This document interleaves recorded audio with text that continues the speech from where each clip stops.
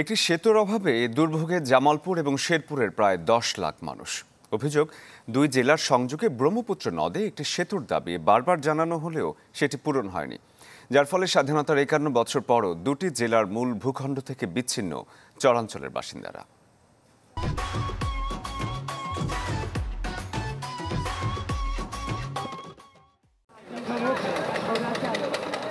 জামালপুর সদরের নরন্তি তুলসীচর ও শেরপুরের নকলায় বসবাস লাখো মানুষের।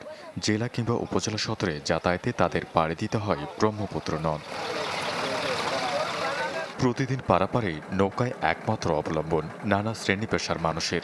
বর্ষাকালে এলে ভোগান্তি বাড়ে বহুগুণ। তাই সহজ যাতায়াতে নরন্দিতে সেতু নির্মাণে অনেকদিন ধরেই দাবি জানিয়ে আসছেন স্থানীয়রা। বিভিন্ন এলাকার যে কাঁচামাল হয়, এগুলা পার করতে অনেক সময় দেখা যায় যে কা- কাঁচামালগুলা নষ্ট হয়ে যায়। যখন নদীতে পানি বেশি হয় তো আমরা প্রতিদিন কলেজে যেতে পারি না। আমাদের খুব অসুবিধা হয়। এমন এলাকায় বসবাস করতেছি এটা আমরা কারও কাছে এই দুঃখ আমরা বলার কোনো আজ পর্যন্ত কোনো লোক পাই নেই। এই বৃষ্টির মাধ্যমে কৃষকের শাক শাকসবজি ঢাকায় নিয়ে যেতে পারবে। সেতুর স্বপ্ন বাস্তবায়িত হলে চরের বাসিন্দাদের জীবনের ইতিবাচক পরিবর্তন আসবে বলে জানান উপজেলা পরিষদ চেয়ারম্যান। এই সেতুটি বাস্তবায়ন হলে এই চরাঞ্চলের মানুষের জীবন মান উন্নয়ন হবে। বিশেষ করে কৃষিজাত পণ্য পরিবহন সহজ হবে। স্কুল কলেজের ছাত্রছাত্রীদের স্কুল কলেজে যাওয়া সহজ হবে।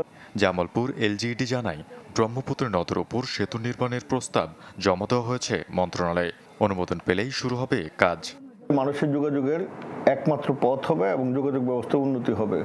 উক্ত বৃষ্টি আমরা একটা প্রকল্প ভুক্তির জন্য প্রস্তাব প্রেরণ করেছি।